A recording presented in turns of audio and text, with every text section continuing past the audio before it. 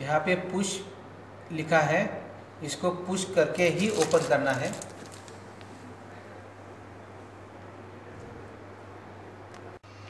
एक कप और ग्लासेस का फ़ंक्शन है। बाय डिफ़ॉल्ट 40 डिग्री आता है। इसमें 40 degree to 60 degree temperature select किया हुआ है। अगर आपको ये कम करवाना है या बढ़ाना है तो आप प्लस माइनस से आप बढ़ा सकते हैं।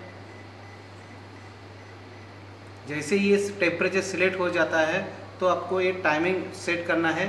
इसमें सिक्स आवर्स आ जाता है बाय डिफ़ॉल्ट अगर आपको वन आवर्स टू आवर्स अगर चेंज करना है तो प्लस से आप चेंज कर सकते हैं। जैसे ही ये सिलेक्ट हो जाता है, आपको स्टार्ट बटन दबाना है। स्टार्ट बटन दबाते इसको पुश प्रेस करना है। प्रेस करते ही ये स्टार्ट हो जाता है। ये प्लेट और डिशेस का फ़ंक्शन है। बाय डिफ़ॉल्ट 60 डिग्री टेम्परेचर आ जाता है। इसका degree 60 to 80 degree temperature select किया हुआ है। इसको कम करवाना है या बढ़ाना है तो आप प्लस माइनस से आप बढ़ा सकते हैं। जैसे ये टेम्परेचर सिलेक्ट हो जाता है, इसको टाइमिंग देना है। इसमें सिक्स आवर टाइमिंग आ जाता है। इसे one hour to six hour आप टाइमिंग सेट कर सकते हैं। One hours two hours set करना है तो आपको प्लस से माइनस से आप सेट कर सकते हैं। जैसे ही सेट हो जाता है उसको स्टार्ट का बटन दबाना है।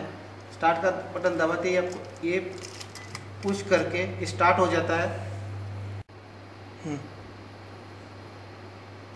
ये फ़ूड वार्मिंग का फ़ंक्शन है।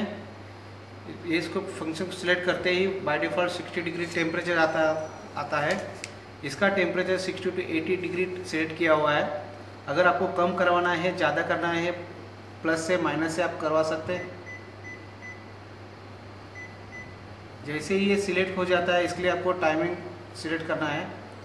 सिक्स आवर्स, वन आवर्स और सिक्स आवर्स इसका टाइमिंग ड्यूरेशन है। आप इसको कम करवाना है या ज़्यादा बढ़ाना है तो आप प्लस से कर सकते हैं। जैसे ही ये टाइमिंग सेट करते ही आपको सिर्फ़ स्टार्ट का बटन दबाना है। जैसे ही स्टार्ट का बटन दबता है, इसको प्रेस करके ये स्टार्ट हो जाता है।